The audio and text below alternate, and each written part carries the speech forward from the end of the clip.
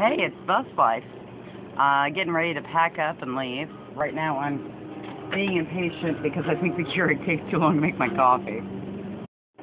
Waiting on my coffee to brew. Still waiting. It's not supposed to be like instant coffee, but not instant coffee because that's so terrible. Haha! Coffee. The day is good.